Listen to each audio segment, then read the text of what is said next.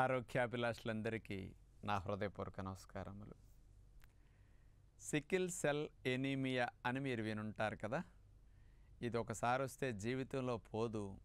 వీళ్ళకి బ్రతికినన్నాళ్ళు పదిహేను రోజులకి ఇరవై రోజులకి బ్లడ్ ఎక్కిస్తూనే ఉండాల్సి వస్తుంది. పాపం అలాంటి పిల్లల పేరెంట్స్ పిల్లలు ఎంత బాధపడతారు? పేరెంట్స్ బ్రతికినన్నాళ్ళు నరకాన్ని చూస్తారనమాట మరి చాలా లైఫ్ ఇబ్బందికరంగా సాగుతుంది ఈ సమస్య వస్తే. మరి అలాంటి సికిల్ సెల్ ఎనీమియా అంటే ఏమిటి? దీని పట్ల అవగాహన అసలు బ్లడ్ ఎక్కించే స్థితిని తగ్గించడానికి న్యాచురల్గా ఏం చేస్తే బాగుంటుంది? ఎందుకు వస్తుంది? ఈ పేరు ఆ జబ్బుకి ఎందుకు పెట్టారు? దానివల్ల ఏమేమి ఇబ్బందులు ఉంటాయి? ఒక్కసారి దీని మీద మీకు అవగాహన కలిగిస్తే మీకు తెలిసిన వారు ఎవరన్నా కనపడినప్పుడు కూడా కాస్త హెల్ప్ చేస్తే మీ ద్వారా మంచి విషయం వెళితే వాళ్ళ లైఫ్కి చాలా మార్పు తీసుకురావచ్చు అనమాట మరి అలాంటి సికిల్ సెల్ ఎనీమి అంటే సికిల్ సెల్ అంటే మన రక్త కణాలు ఆర్బీసీ రెడ్ బ్లడ్ సెల్స్ ఉంటాయి కదా? ఇవి చంద్రుళ్ళ గుండ్రంగా ఉంటాయి కదా? కానీ సికిల్ సెల్ అంటే ఆఫ్ మూన్ అన్నమాట. చంద్రుడు మరి చిన్నగా ఉన్నప్పుడు చూడండి ఆఫ్ రౌండ్లో ఎట్లా ఉంటాడు? సేమ్ అలా ఉంటుందన్నమాట. కొడవల షేపులో. ఇలా గనక ఎర్ర రక్త కణాలు ఉంటే దీన్ని సికిల్ సెల్ అంటారనమాట గుండ్రంగా ఉండాల్సిన ఎర్ర రక్త కణం ఈ షేప్గా తయారవుతుంది వీళ్ళలో ఇలా తయారవటం వల్ల రక్తములో సరిగా ప్రయాణించలేవు. గుండ్రంగా ఉంటే ఈజీగా వెళ్తే ఇట్లా ఉంటే చూడండి ప్రయాణించలేవు. ఒకదానికొకటి అంటుకుపోతూ ఉంటాయి. ఎక్కడికక్కడ ఇబ్బందులు ఎదురవుతూ ఉంటాయి. వీటి లైఫ్ తగ్గిపోతుంది. అందుకని రక్త కణాలు ఇట్లా ఉన్నప్పుడు సికిల్ సెల్గా ఉన్నప్పుడు ఇక హెమోగ్లోబిన్ సరిగా పట్టుకోవన్నమాట. అందుకని హెమోగ్లోబిన్ సరిగా డెవలప్ కాదు. ప్రాణవాయువుని సరిగా మోసుకెళ్ళలేవు. అంటే దానివల్ల చూడండి న్యూట్రియంట్స్ ప్రాణవాయువు బాగా మోసుకెళ్ళాలి కదా హెమోగ్లోబిన్ క్యారీ చేయాలి కదా ఎర్ర రక్త కణాలే కదా వీటన్నిటి తీసుకెళ్ళేది. మరి ఈ సిక్కిల్ అంటే హాఫ్ మూన్ షేపులో ఎర్ర రక్త కణాలు ఉన్నప్పుడు ఆక్సిజన్ని న్యూట్రియంట్స్ని మోసుకెళ్ళలేవు సరిగా ప్రయాణం చేయలేవు. అందుకని అసలు శరీరం అంతా రక్తం ద్వారానే అన్నీ అందుతాయి వ్యర్థాలు బయటకు వస్తాయి అసలు ప్రయాణించే వెహికలే రక్తమే సరిగా లేకపోతే ఇంకా ప్రయాణం ఎలా సాగుతుందండి? ఇది వీళ్ళ ఇబ్బంది. మరి సిక్కిల్ సెల్ ఎనీమియా అనేది అసలు ఎందుకు వస్తుంది అంటే కారణం కొంతమంది పేరెంట్స్లో గనక వాళ్ళకి లక్షణాలు లేకపోయినా ఆ సిక్కిల్ సెల్ జీన్ గనక ఏదైనా ఉంటే ఈ పిల్లలకి ఆ జీన్స్లో వచ్చిన లోపం కారణంగా ఈ సిక్కిల్ సెల్ డిసీజ్ వచ్చే అవకాశాలు ఉంటాయి. పేరెంట్స్లో కనుక ఇద్దరికి కనుక ఈ సిక్కిల్ సెల్ ఎనీమియా జబ్బు కనుకుంటే వాళ్ళ పిల్లలకి గ్యారంటీగా వస్తుంది. ఆ జీన్స్ ఉన్నప్పుడు. అలాంటిది లేకుండా ఎవరికన్నా ఒకరికి ఉండి ఒకరికి లేదనుకోండి కొంత హెల్దీగా ఉండే ఆర్బీసీ సెల్స్ వస్తాయి. మరొకరిలో ఉండటం వల్ల ఆ జీన్స్ వల్ల కొంత సిక్కిల్ సెల్ వచ్చి కొంచెం ఇబ్బందులు మెల్లగా వస్తుంటాయి అన్నమాట ఈ జబ్బు జీన్స్లో వచ్చే ప్రాబ్లం వల్ల వస్తుంది. ఇక ఈ జబ్బు వస్తే ఇబ్బందులు ఏముంటాయి ఎలాంటి లక్షణాలు ఎక్కువ కనపడుతూ ఉంటాయి.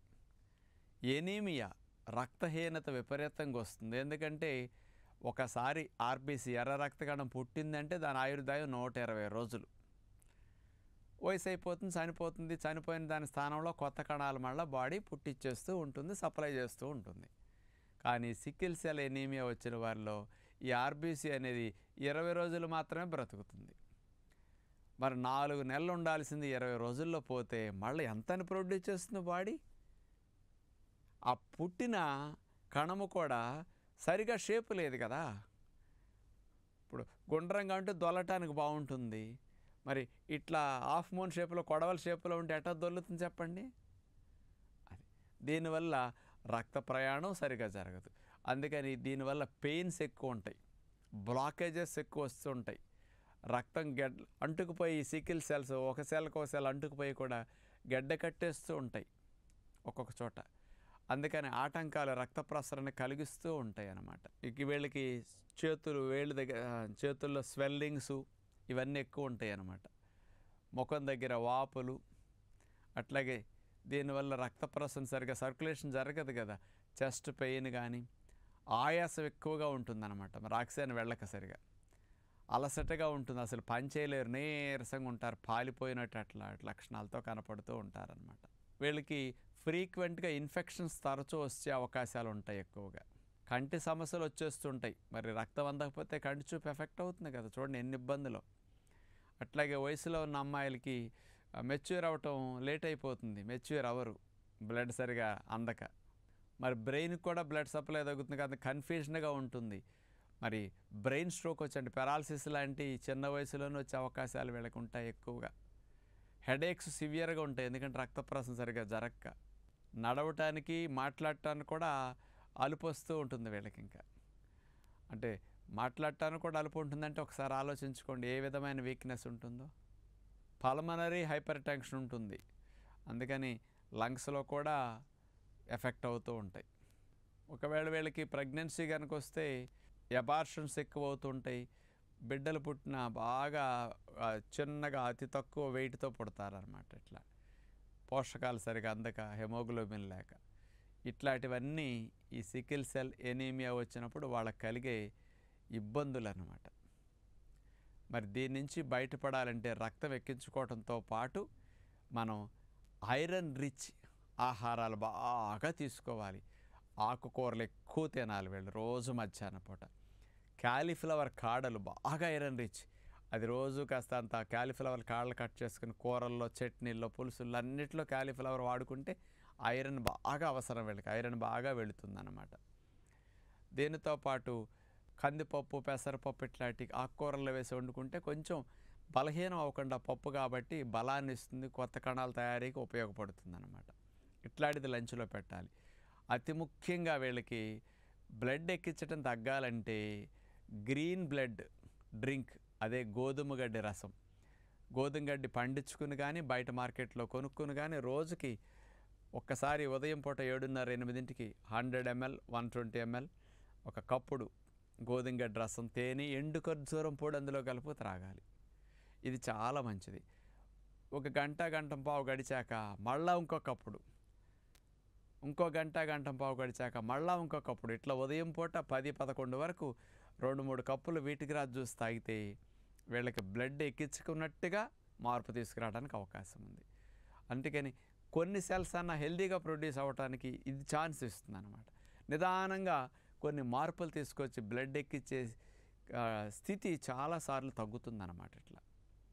అందుకని ఈ గోధుమ గడ్డి మూడు సార్లు ఇచ్చి పదకొండున్నర పన్నెండింటికి భోజనం పెట్టేసేయండి.